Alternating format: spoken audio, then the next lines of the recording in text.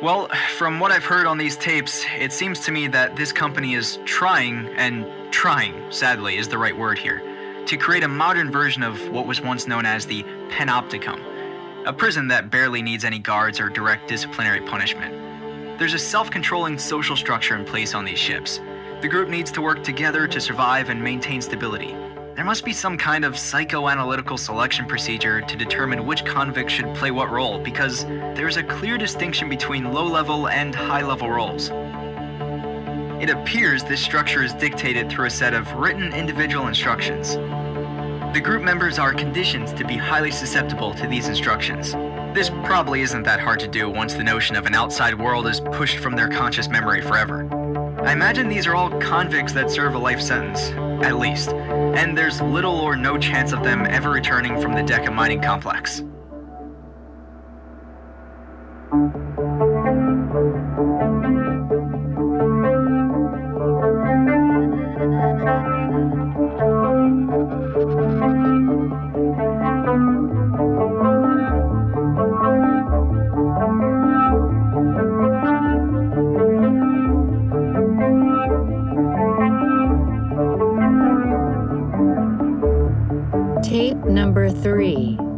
The Cook.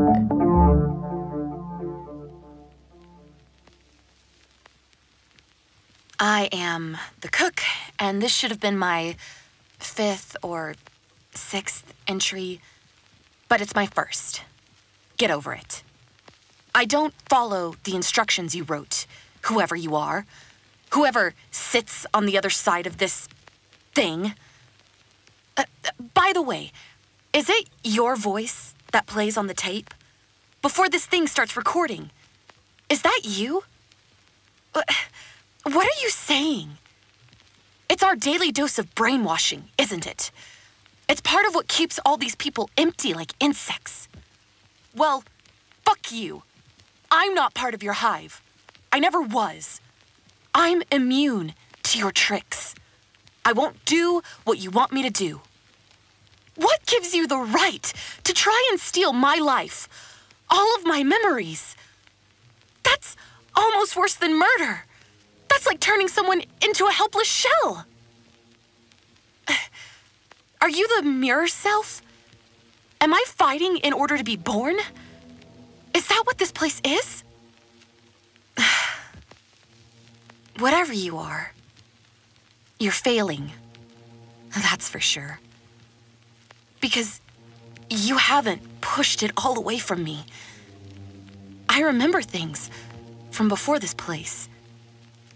And I I know I'm not supposed to. I remember my father.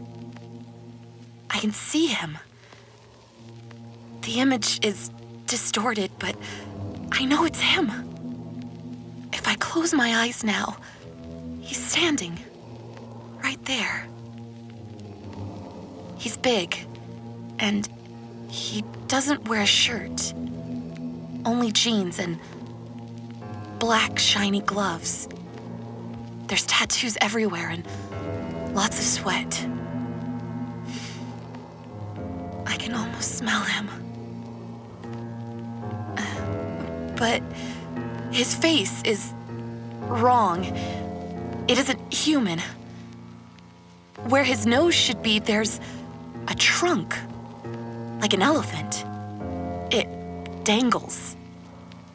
And his eyes are way too big, stretched somehow. It's all very distorted. You turned him into a monster. On the other hand, maybe it's not the memory that's mutated. Maybe his face is just different. I mean, my face is different also. I am not like the rest of them. I think I can remember my father talking about the two of us being different back home. It's a scrambled memory, like all the other ones. But I remember parts of it. I remember him trying to console me when I was sad about not belonging. I was really young. He explained the benefits of being different, the power that comes with it. He talked about this guy, Peter Parker. I can't remember if he was a friend or a famous person. Dad explained how Peter got special powers through some accident, and it made him lonely. But it also allowed him to do things normal people could never do. Maybe that's how I slipped through your brainwashing protocol, because of my mind working differently from the other ones. In the end, it won't help me, though. I might be immune to brainwashing, but I'm not immune to solid walls. You got me there. I can't get out of here. I can't run through concrete like Kitty Pryde. Who's. who's Kitty Pryde? It sounds familiar. what I'm saying is. What I'm trying to say is. Now I have to do this recording, even though I want to do as little as possible of what you dictate. But I have no choice. I have no choice because one of the insects living with me in here has disappeared. The entertainer. He is gone. And I'm the prime suspect. They're all ganging up on me now. And I feel like I have to tell someone with authority over this whole charade that I don't know where he is. You hear me, evil one? Mama Dry? I don't know where the entertainer is. I have nothing to do with it.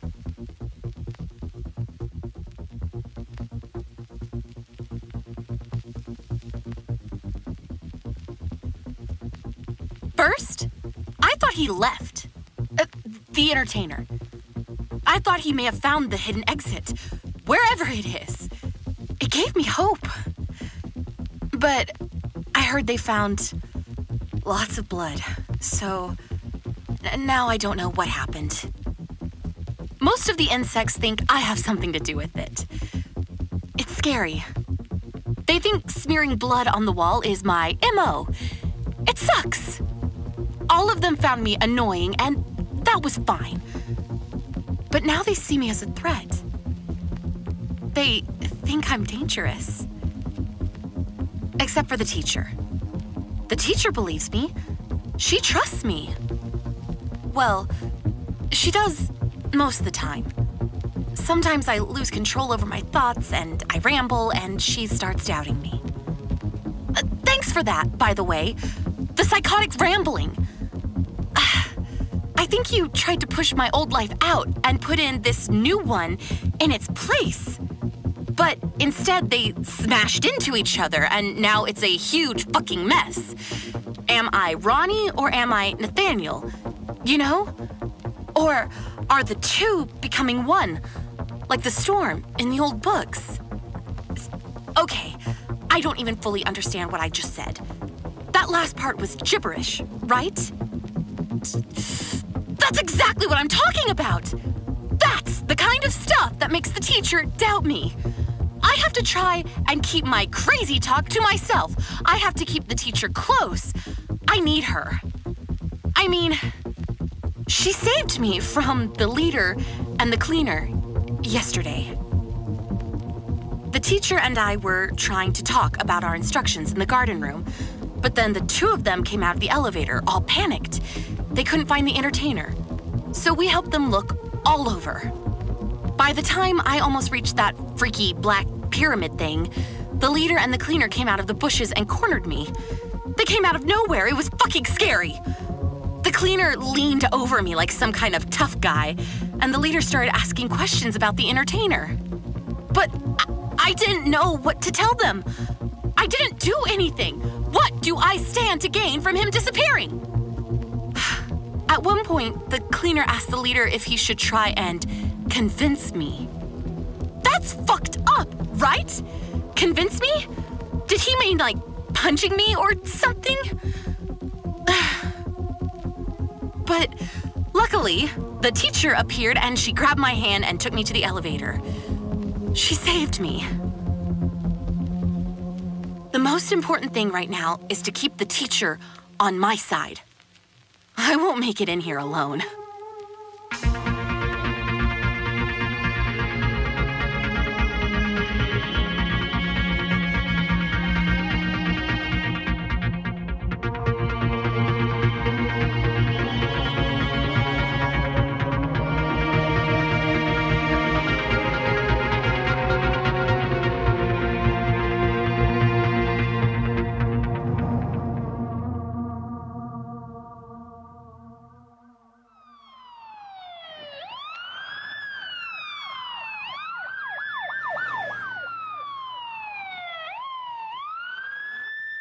Like Lucy said, it all started with a house fire.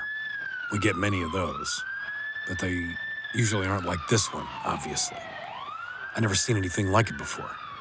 The fire was fucking purple and green, and the smoke was in all kinds of colors, like someone was cooking a huge ass rainbow or something. You could see it all the way from the station. And considering the colors, it could be poisonous, so I get out of the car, and I started getting the neighbors out of there right away. Everybody had to come out and take a closer look. One of them starts complaining about all of this being my fault.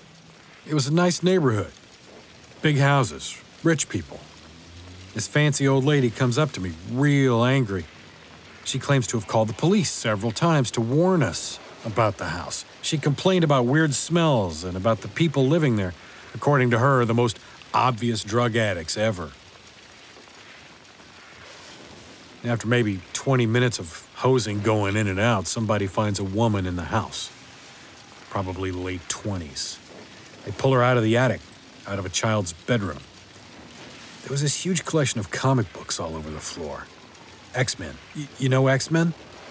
Used to be this huge thing. They had actual paper books back in the day with handmade drawings.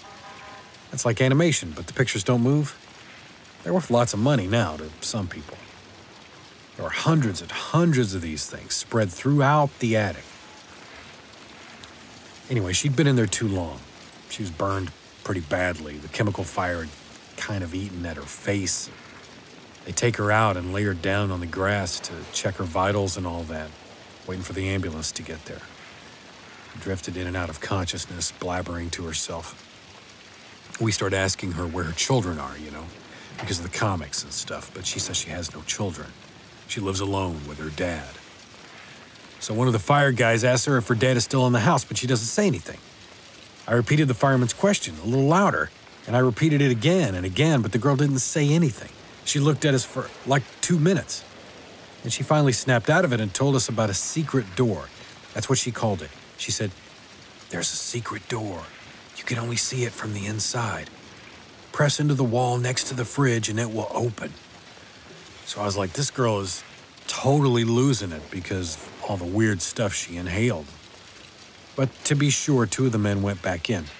They pushed into the wall and basically walked right into the source of the chemical fire.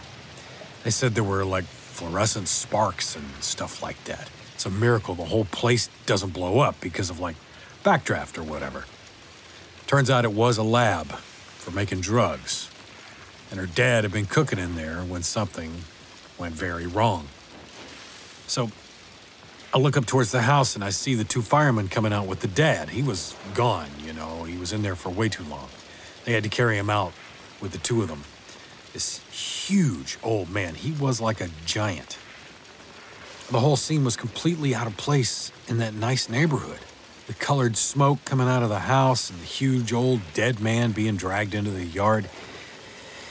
He had no shirt on, only jeans, big black gloves, huge arms dangling, was full of faded tattoos, and he was burned all over. And his face, you couldn't see it. He wore one of those old gas masks, you know, with the big filter and the glass eyes from the First World War, I think. Very old. And the thing had melted onto his face. It was crazy. They couldn't take it off. They tried, but it was stuck. The, the mask couldn't have helped him, you know. Only God understands why he wore that thing. An antique like that couldn't have worked anymore, especially against the kind of shit he was cooking up. He made these new, highly advanced designer drugs, very dark stuff. Back then, it was the newest thing with the kids. I think about that moment a lot. Sitting there in the grass while they dragged that guy out of the house. The very thing I would spend the next two years hunting down. The thing that ruined my marriage, probably, was just laying there, right in front of me, for the taking. But I only looked at the old burned giant instead of the girl, and I thought I had it all figured out. I thought that this monster of a guy had kept his daughter locked in the house for years, you know, in her old room with all her old comics and stuff. And she never really grew up. She just stayed in that drug factory, reading comic books and huffing purple fumes for breakfast. I thought she was helpless. She looked helpless to me, laying in the grass. If only I paid attention, I would have saved a lot of lives.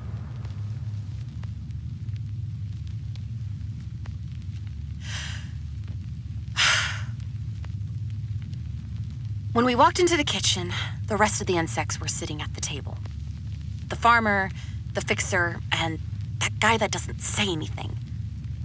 I walked up to them before the fixer could start his bullshit, and I swore to all of them that I had nothing to do with it. I was like, guys, I know you think I'm mad. I understand why you would think I'm mad. I did some weird stuff in here, painting on the windows with food to prove my point. But I have nothing, nothing to do with the entertainer being gone. I have no idea where he is. The fixer said he would wait and see. Not in a hostile way. He gave me the benefit of the doubt for a second. The teacher was relieved and she sat down next to the silent dude. He is weird, isn't he? That silent one. I wonder what keeps him quiet. I wonder what his instructions say. I wanted to sit down too when the elevator started rumbling. The doctor, the leader, and the cleaner and the communicator came walking back in. They all looked distraught. Except for the communicator. She always looks perfect. Her jumpsuit fits perfectly around her tight little body. I hate her. No one that beautiful can be trusted, especially in a place where we get awards for having sex with each other. By the way, I don't even want to know what the deal is with those sex badges. You just keep that whole part to yourself. You're probably filming us, right? You probably watch all of them at night. That's why you give them awards for being freaky. Well, I don't want to know. Jesus. I completely lost my train of thought again. Uh, um, entertainer disappeared. Everybody thinks I did it because I'm like Peter Parker. Oh, yeah, right. All the important people walked back into the kitchen, and I don't trust the communicator. Well, I don't trust any of them, but especially her. She told us to relax and not to worry. They were still looking for the entertainer. They were going to find him, and in the meantime, the cleaner was going to work in the dorm, so we weren't allowed in there. That was very, very suspicious. I mean, she wasn't even trying to sound like everything was actually fine. They found something in there, something that needed cleaning. The teacher felt the same. She asked them what was really going on. I turned that girl into a feisty one, you gotta admit. The doctor stepped forward and pointed to me. She was emotional. You hurt him, she said. You could feel the whole group turning on me again. I asked her what made her say that. The leader tried to stop her. He didn't want her to say another word, but she got real emotional and ignored him. The whole dorm, she said more to herself than me. There's so much blood. What did you do? The word blood made all of the insects lose their shit. The fixer got up and asked if he should grab me. The farmer also got up and pressed his big fist into the table. I could see the veins in his neck. My mind was racing, but I had no clue what to do to get myself out of this. I still don't understand why that means I did it, I said desperately. The communicator told everyone to calm down. And to my great surprise, she told them she didn't suspect me. Why not? I asked her. She said someone had written something across the lockers with blood. The leader told her to stop talking, but she ignored him like the rest of us. I asked her what it said. She looked down as, as if she was ashamed of it. The line read, The fruitful will live, the useful will live. That doesn't sound like you, the communicator said. It sounds like someone who prefers order over chaos. And someone who's into melodramatics, I added. Fruitful will live, the useful will live. What kind of fucking place is this?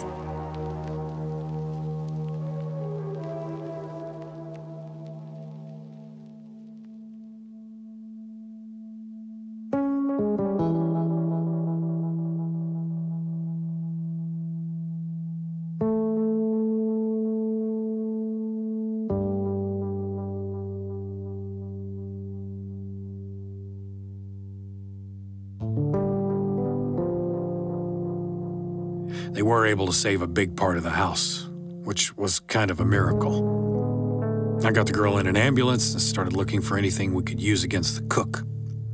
We were able to salvage a really badly damaged laptop, but the HD was in good shape and it had the cloud login on there. So the AI assistant was able to scramble all kinds of data together. It's always a weird moment, you know, when suddenly an entire drug empire like floats up, you know, to the surface. The dealers, the mules. Anyway, that's when it happened. We were about to leave the scene with the laptop when one of these guys comes running up to me. The ambulance was gone. It never arrived at the hospital. The daughter was gone. I thought, fuck, they got to her. They didn't want her to talk. I still didn't get it. So we go out there immediately and we start talking to the dealers that we can track down through the cloud drive. We needed to save her, you know? She could be an important witness. All of the dealers we track down know about the cook and about the daughter, but none of them can help us get closer to them. After two days, they find the ambulance. It was soaked in gasoline and burned, somewhere in the woods along some dirt road, a dead end. We decide to keep tracking down street dealers and talking to them. You know, maybe she's still alive. And after a couple of weeks of talking to those lowlifes, one of them flips everything on its head. This young, strung out little guy, he's completely out of it, talking to someone who isn't there while he's also talking to me. I keep pushing him, asking him about the cook and who he supplied to. At one point, he says something like, The real cook isn't dead. The Mad Queen cannot die. So I'm like, this little tweaker has completely lost sight of reality. But I was completely missing the huge clue being dropped right on top of my fucking head again. this doesn't make me look like a brilliant detective so far, does it?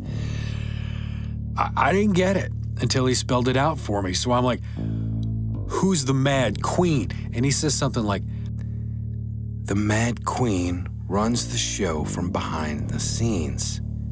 The daughter who took her father's place.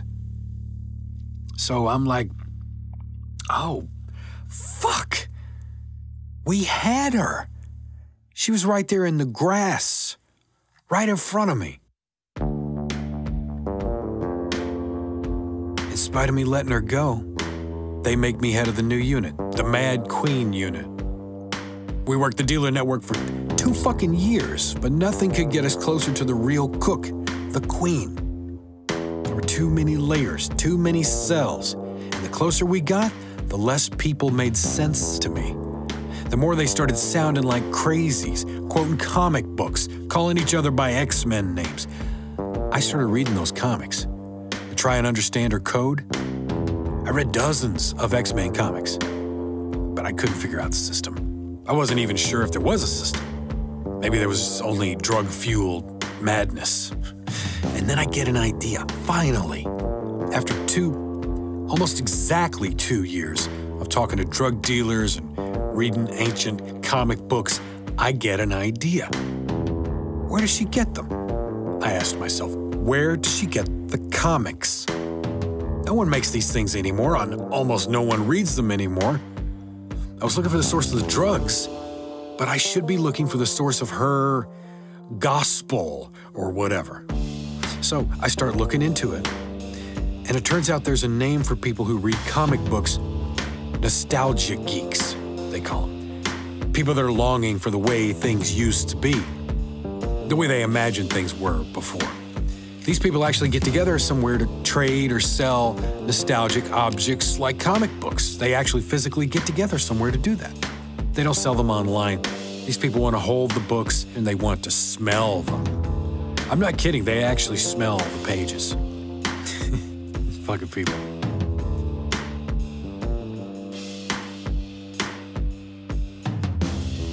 Anyway, I become a nostalgia geek all the way.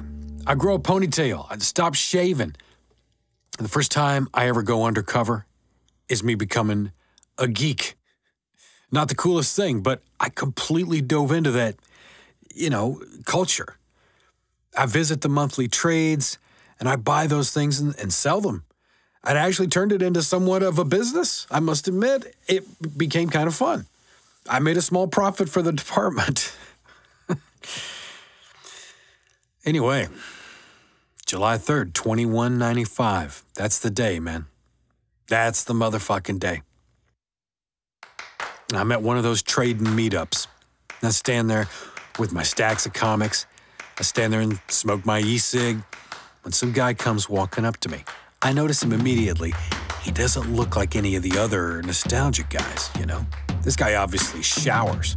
He shaves and he exercises. You can see the implant mark on his wrist. None of the comic guys would keep their implant. They hate that stuff. I had mine removed for this. Fuck. That was the final straw for my wife, I think. So, this guy walks straight for me. He doesn't look anywhere else. He doesn't look at any of the other comic stacks. He's here to see me. So my hand is on my gun, you know? Safety was off by the time he got halfway. He leans in and he asks me if I still have a certain issue of an X Men comic that I talked about online. And I'm like, yeah, it's right here. But he doesn't even look at it. He goes, my boss might buy it. She'll pay good money. Take the comic and meet me out back in two minutes. And he just walks off. And I know. I just know this is it. So I stick a micro bug in the comic, send a message to the squad, and I walk out back. There's two big black cars and two big guys like the one that came up to talk to me. And there she is.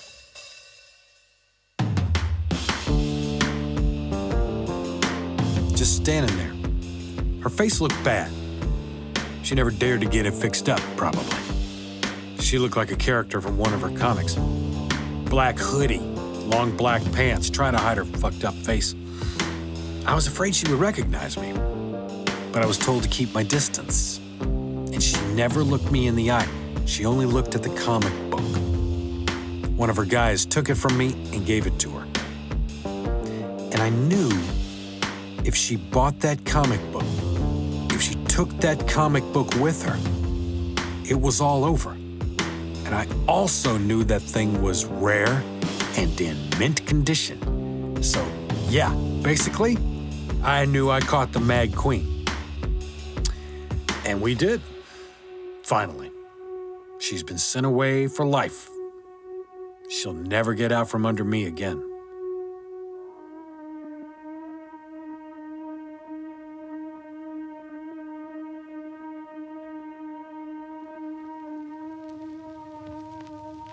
I am the cook, and this is my second entry.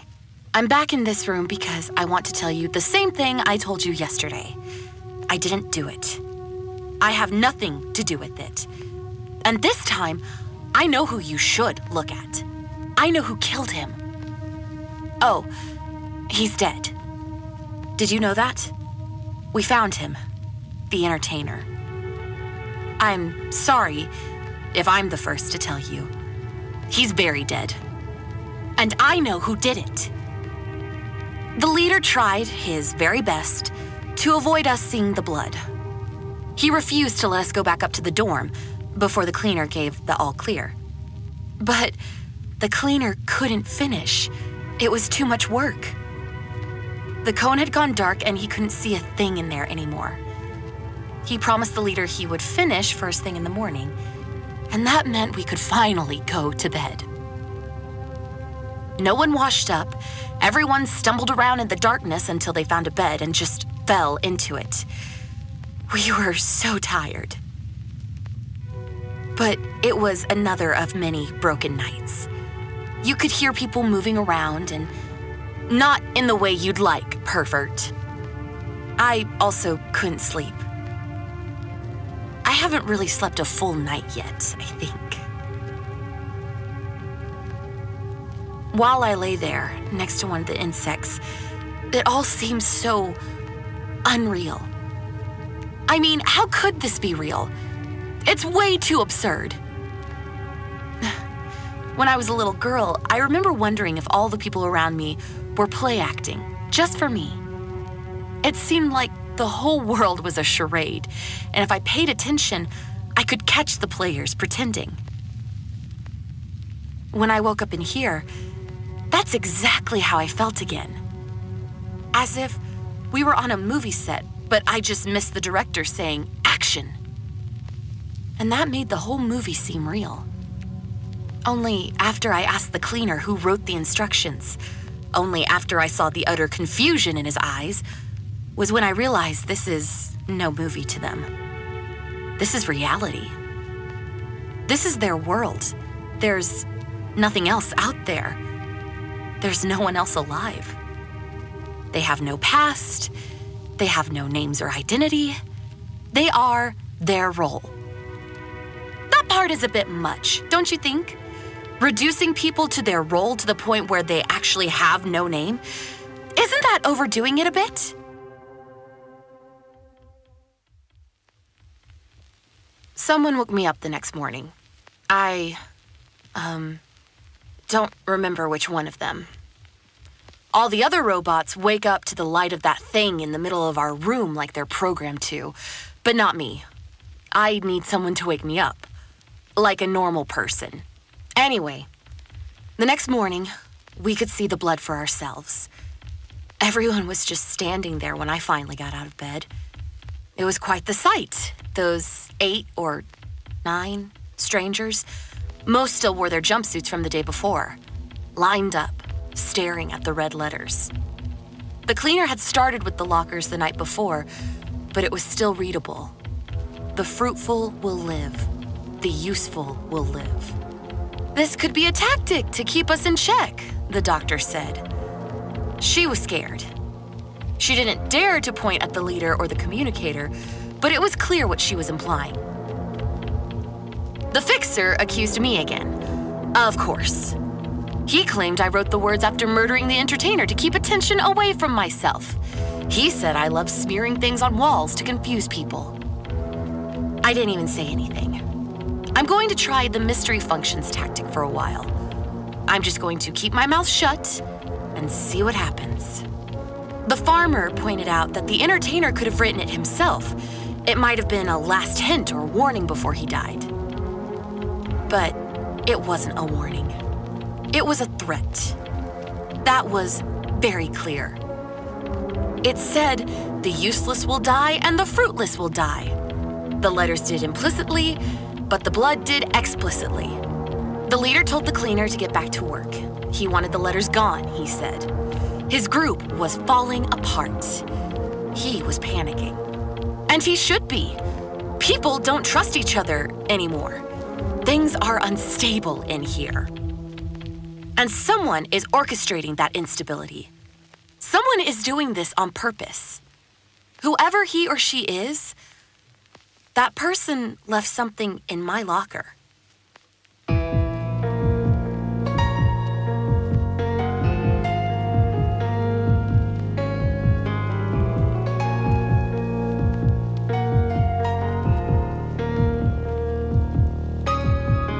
Showered and got dressed and wanted to put my stuff back in my locker when there was a key.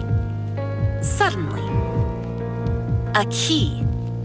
Someone had put it there while I was in the bathroom. It isn't mine. I've never seen that key before. I don't think I've ever seen a lock in here. I stood there for a while, my stuff in one hand, the key in the other. I ran my fingers up and down the thing. It felt good. The nickel. The stuff my old world was made of. Did someone ditch that key in my locker to try and get me in trouble? Or did someone want me to have the key because I'm looking for a door? I ended up putting it back in my locker. I know I shouldn't have. I should have gotten rid of it. But hope made me keep it.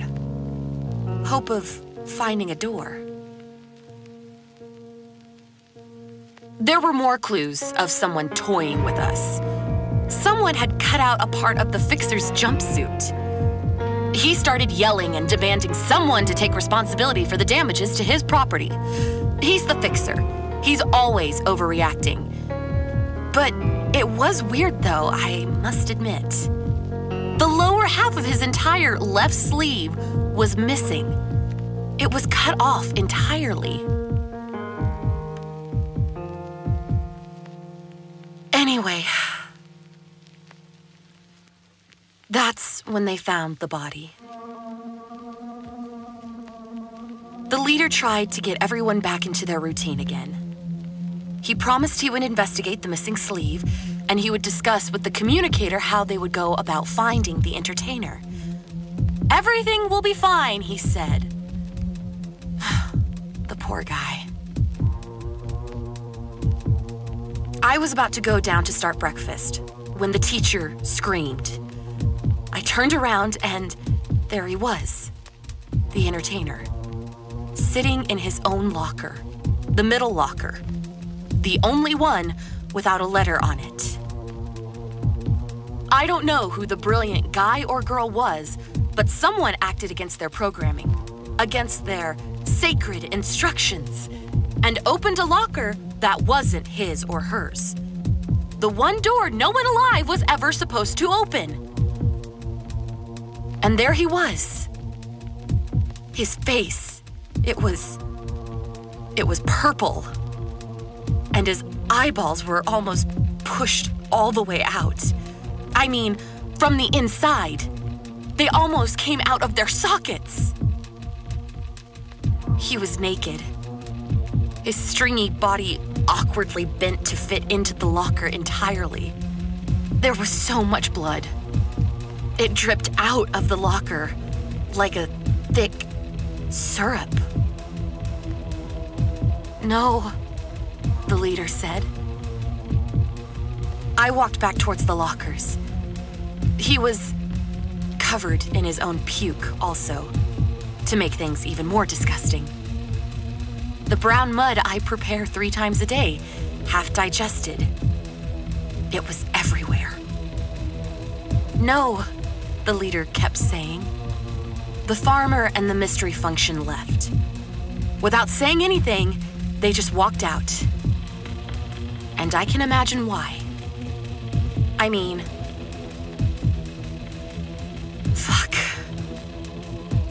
Listen, like I said, I know who did it. I just don't know how to apply that information wisely. I don't want to create division. Everybody might end up murdering each other in here. And that's assuming they believe me. I mean, they most likely think I'm trying to deflect and avoid getting punished. I'm going to go out on a limb here and assume that whoever is listening to this doesn't want all of us to murder each other. So here's what happened the teacher was the one who woke me this morning. She told me she couldn't sleep, and at one point she went to the bathroom. It was really dark, but the lights in the bathroom are quite bright, so when you open the door, you could see the others laying in their beds. She opened the door and saw the farmer, standing there, frozen.